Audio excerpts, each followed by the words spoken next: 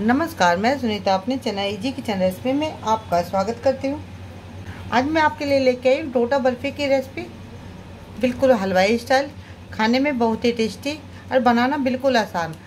एक बार आपने किसी को खिला दी या खुद खाओगे तो पता लग जाएगा कि ये आपने हलवाई से भी ज़्यादा अच्छी बनाई है। और बिल्कुल सॉफ्ट है खाने में भी। और ये देखिए मैंने तो स्टार्ट करते हैं अपनी नई रेसिपी हम दलिए से डोडा बर्फ़ी बनाने जा रहे हैं। हलवाई भी इसी से बनाते हैं आजकल। पहले तो गेहूँ को भिगो के अंकुरित करके फिर उसको पीस के डोडा बर्फ़ी बनाई जाती थी।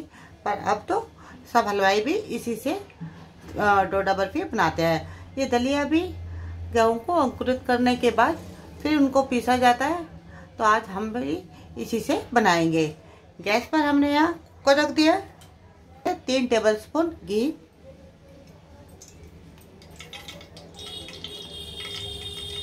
घी हमारा गर्म हो गया तो डाल देंगे एक कप गेहूँ का दलिया। अब हम अपने दलिया को मीडियम आँच पर लगातार चलाते हुए भून लेंगे। गैस की फ्लेम हमें मीडियम ही रखनी है। ये हमारा दलिया भुन गया, हमने लगातार चलाते हुए भूनना है। ये ज़्यादा डार्क नहीं करना, हमें हल्का सा बस ब्राउन हो जाए, इतना ही भूनना है। अब हम इसमें पानी डालेंगे।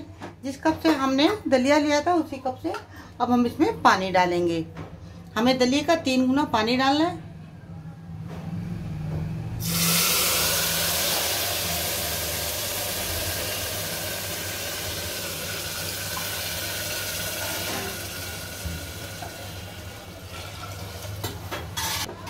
एक बार पहले हम मिला देंगे दलिया को।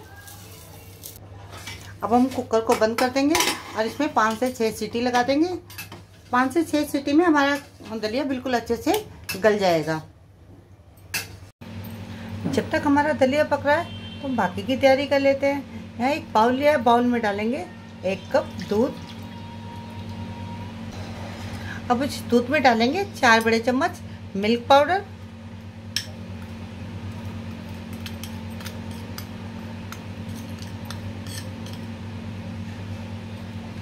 और इसको अच्छे से मिक्स कर देंगे पहले।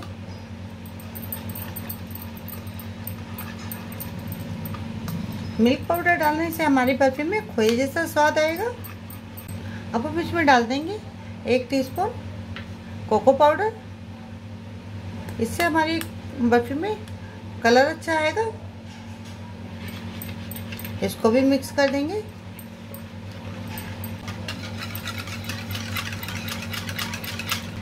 हमने यहाँ विस्कर की सहायता से सारे लम्स ख़त्म कर लिए आप देख सकते हैं, ये बिल्कुल लम्स फ्री बैटर बन गया अब हम इसको रखते हैं साइड में, अपने दलिए को चेक कर लेते हैं।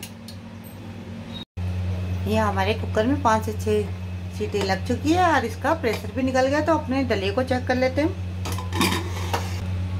ये देखिए, हमारा दलिया अच्छे से फूल गया इसका सारा पानी भी सूख गया आप इसको इस तरह से भी चेक कर सकते हैं। ये अच्छे से पक गया है। अब सारे तले को हम एक कढ़ाई में डाल देते हैं, जिससे कि हम इसको अच्छे से पका सके दूध में।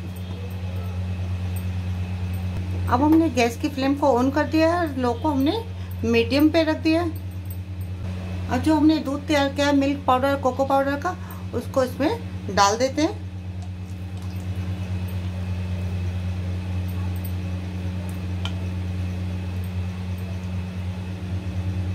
अब इसको हम लगातार चलाते हुए पका लेते हैं दूध में।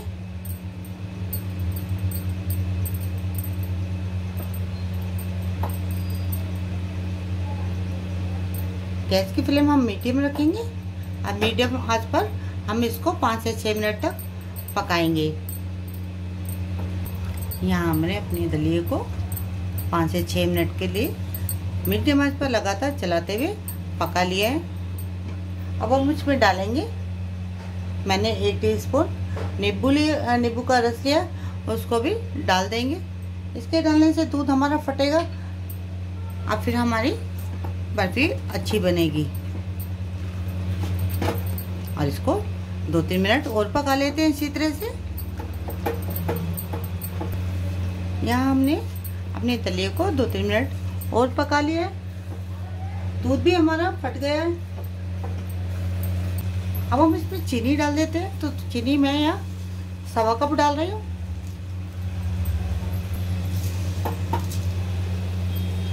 चीनी आप अपने स्वाद अनुसार कम या ज़्यादा कर सकते हैं। अब इसको भी मिला देंगे।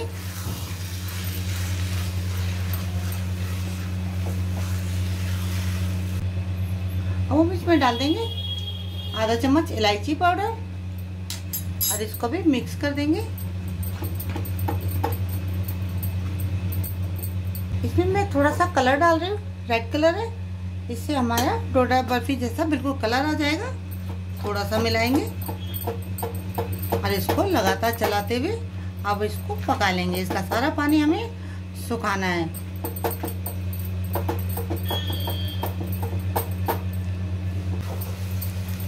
ये देखिए, हमारा जो दलिया है, अब गाढ़ा होने लगा है। अभी हमें इसे थोड़ा और भी सुखाना है। इसे लगातार चलाते हैं मीडियम आँच पे इसे अच्छे से पका लेंगे। ये गाढ़ा हो जाएगा, बिल्कुल कढ़ाई को छोड़ देगा। तब तक हमें इसको पकाना है। अब इस समय हम दो चम्मच घी और डाल देते हैं, जिससे कि हमारी मिठाई अच्छे से जम सके।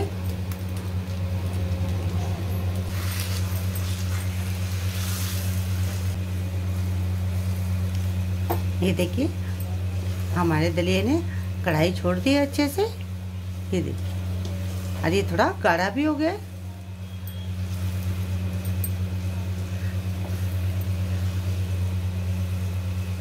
ये हमारा बर्फ़ी का बैटर बनकर तैयार हो गया। तो हम कर देंगे गैस बंद।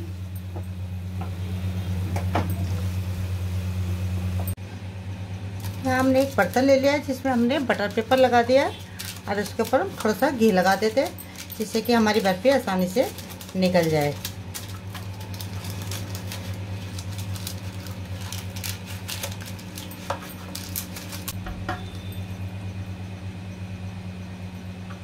अब हम इसमें सारा बैटर डाल देते हैं। तो दलिया हमने पका के रखा है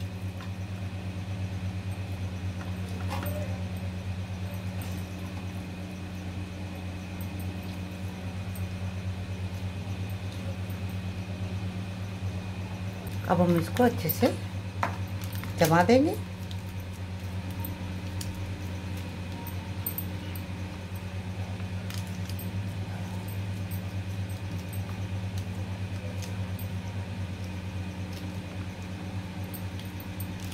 यहाँ हमने अपनी बर्फ़ी को सेट कर दिया ऊपर से डाल देंगे ड्राई फ्रूट।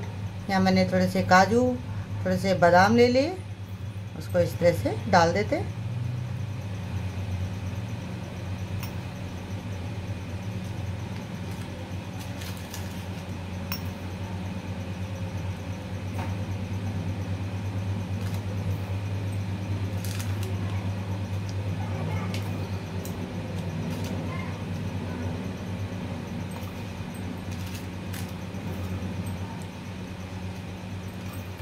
अब हम इस बर्फ़ी को दो घंटे के लिए फ्रिज में रख देते हैं। उसके बाद हम आपको दिखाते हैं।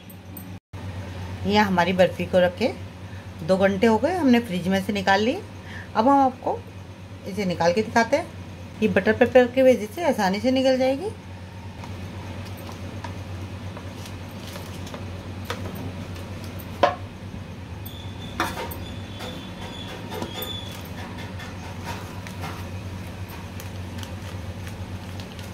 ये देखिए, कितनी अच्छी जमी है ना हमारी डोडा बर्फ़ी अब हम आपको इसको कट करके दिखाते हैं।